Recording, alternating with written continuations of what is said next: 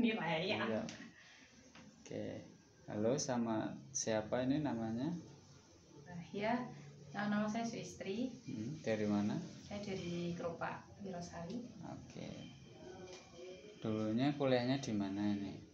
Nah, dulu kuliahnya di UMS Oke, nah. Kemudian tadi kita masuk di materi Excel. Nah, tadi materinya apa aja yang kita bahas, kita pelajari, masih ingat? Sum if Hmm. sum sum product Hmm. uh, if if Hmm. hmm, right right Right ya. Right, ya. Nah. udah itu Nah, materi paling sulit dari apa yang kita pelajari menurut kamu yang mana?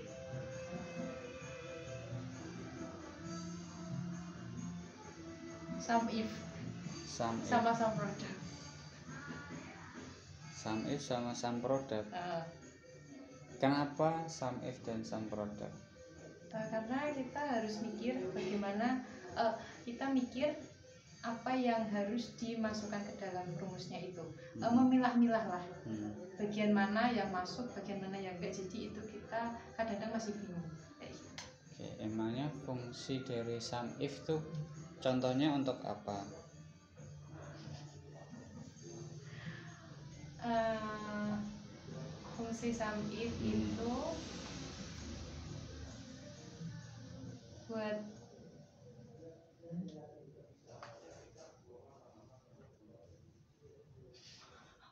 Apa? Ceritain aja yang tadi masalah tadi enggak masalah. hmm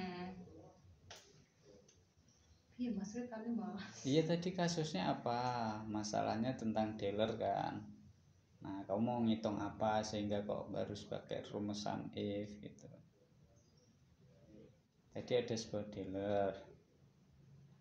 oh iya Eh, contohnya itu if itu seperti ini ketika kita kan ada penjualan ya itu ada suatu penjualan di dealer ini contohnya di dealer ini nah eh, selanjutnya kita ingin mengetahui eh, berapa sih eh, hasil jumlah penjualan per bulannya dari setiap unit unit motor yang dijual di dealer tersebut nah itu salah satunya kita menggunakan sum if itu Hmm.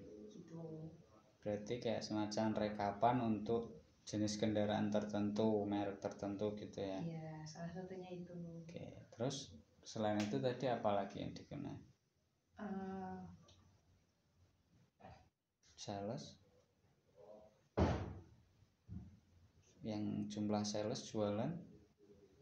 Jadi kendaraannya dijual oleh sales sehingga kita tahu sales ini jualan berapa unit, sales ini jualan berapa unit direkap penjualannya. Sehingga kita tahu sales yang paling produktif jualan siapa. Iya ya itu, kan? Nah, terus kalau sum produk bagaimana? Kenapa kok sum produk itu dipakai ketika apa? Dan contoh permasalahannya apa? Hmm, sum produk itu ketika ada ada beberapa jenis apa ya jenjang ya? Jenis atau jenjang dalam suatu ya pertemuan antara vertikal sama horizontal.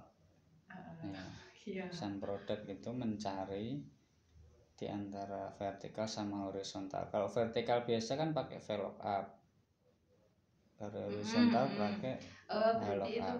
sum produk itu eh, pencampuran antara value up dan Mm-mm. value up kayak Mm-mm. gitu jadi rumusnya dijadiin satu jadi sum produk oke Nah, bukan rumusnya yang jadiin satu itu itu formula yang sendiri sum produk iya tapi kayak strukturnya ada Mm-mm. value up dan value up-nya gitu Hmm. maksudnya gitu ya Ah. gimana yakin deh nanti lolos ujian perangkat desa Hmm. Cuma ngomong ngono, Mas, masa mau bawa Hmm. makin ngono, ngomong ngono. iya kamu kan harus, harus punya keyakinan gitu. Hmm? harus Ya, punya keyakinan tuh Iya, iya, iya, tapi jangan di-share dong yang bagian itunya. Ya kan itu, ya malu lah.